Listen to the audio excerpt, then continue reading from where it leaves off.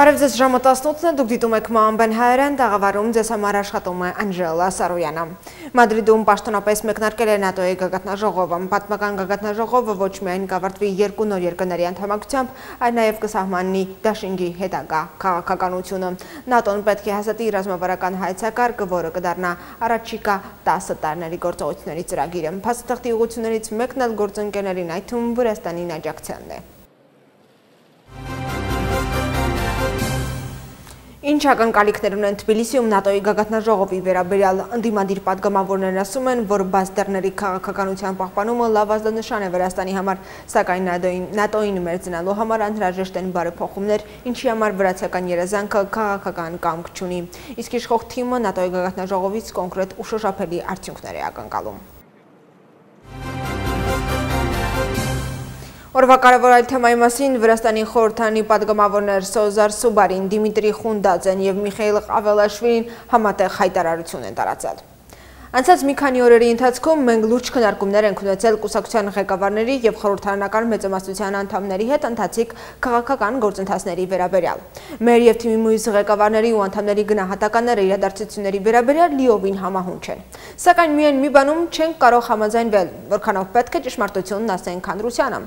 Իհարկե, մենք մեծապես հասկանում ենք գործընկերներին, ովքեր ասում են, որ քաղաքական գործընթացների մասին տեղեկատվություն հրապարակելիս զսպվածությունն է անհրաժեշտ։ Սակայն այսօր այն պահն է, երբ մենք պետք է հանրությանը շատ ավելին հաղորդենք այն մասին, թե ինչ է կատարվում վրացական քաղաքականության ետնաբեմում։ Այստեղ վտանգված է ոչ թե իշխանության կամ մեզնից որևէ մեկի, այլ պետության ու ժողովրդի ճակատագիրը։ Ոստի ժամանակն է մեր եւ երկրի պաշտպանությունն ուղղակիորեն վստահել ժողովրդին։ Կան մեծ ուժեր, որոնք ցանկանում են հեղափոխություն Վրաստանում, փոխել ժողովրդի կողմից ընտրված իշխանությունը ու փոխարինել այն մարդկանցով, ովքեր անմիջականորեն պատասխանատու են 2004-2014 թվականներին կատարված բազմաթիվ հանցագործությունների համար։ Այդ նպատակով Բակուրյանիում կայացել է ազգային շարժման եւ նրա մեդիա ու հասարակական կազմակերպությունների հանդիպումը, որի համար ԱՄՆ-ից հատուկ հրավիրվել էր հեղափոխությունների հայտնի մասնագետ Փիթեր Աքերմանը։ Մենք կարծում ենք, որ ամեն ինչ պետք է իր անունով կոչել։ Դրա համար մենք աստիճանաբար հանրությանը տեղեկատվություն կտրամադրենք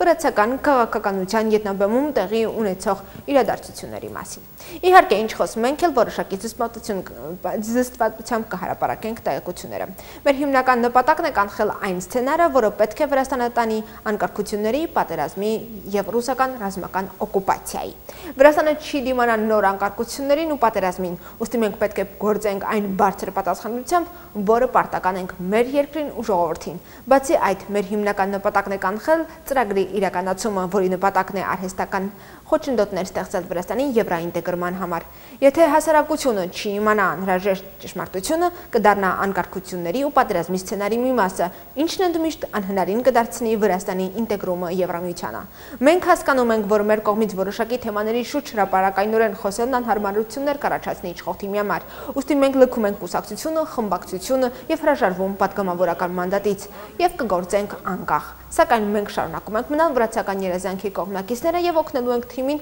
բոլոր հարցերում, որոնք կնպաստեն երկրի եւ ժողովրդի բարօրությանը։ Ասված է Սոզար Սուբարի, Միխ Միխայել Ղավելաշվիլու և դիմիտրի խունդաձեի համատեղ հայտարարության մեջ։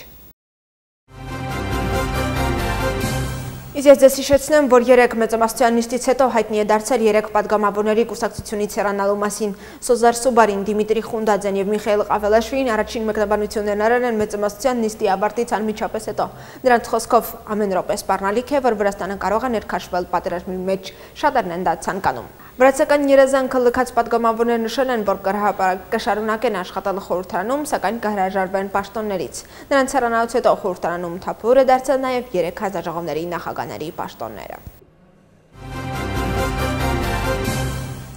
Ընդդիմության մի մասը վրացական երազանքից երեք անդամների հեռանալն անվանում է հերթական ներկայացում ու հայտարարում, որ վրացական երազանքը փլուզման եզրին է։ Մյուս մասը կարծում են, որ այս որոշումը տարօրինակ է եւ եթե վրացական երազանքը նախատեսի ցրել կառավարությունը, մենք ակնադեստ կլինենք կուսակցության մյուս անդամների հեռանալուն։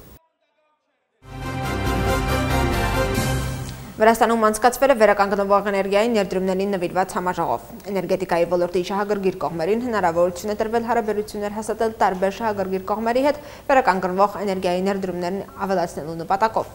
Համաժողովի ժամանակ ուշադրության է հրավիրվել կլիմայի պաշտպանության համար վերականգնվող էներգիայի ոլորտում ներդրումների խրախուսման կարևորության վրա, ինչպես նաև Վրաստանի էներգետիկ անկախության եւ տնտեսական կայունության երկարաժամկետ նպատակների վրա։ Համաժողովին մասնակցել է նաև ԱՄՆ դեսպան Քելի Դեգնանը, ով խոսել է նաև Եվրախանձաժողովի 12 կետից բաղկացած հանձնարարականների մասին։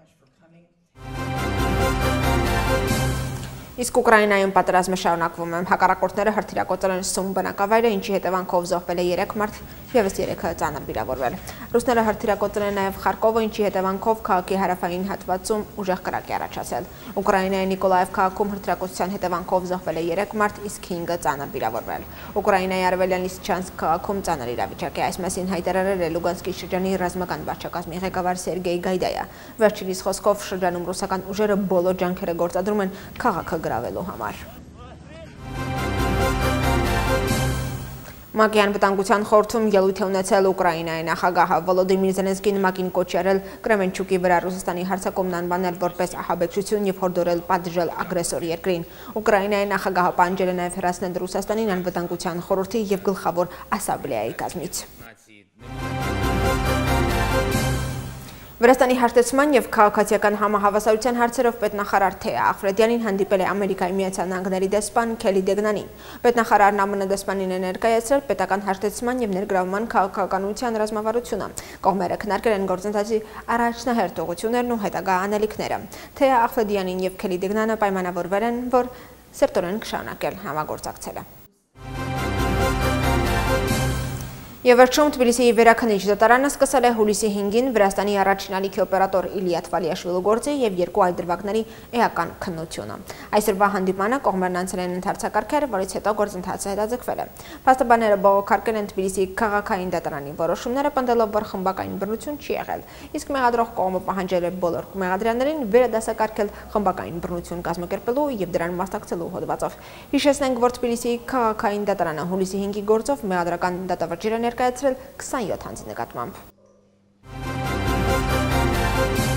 Այժմի կարևոր նորություններով այսքանը սպասեք մեզ արդեն գլխավոր թողարկման ժամանակ ժամը 20:00-ին։ Ես ձեզ հրաժեշտ եմ տալիս մինչ այդ ժամը։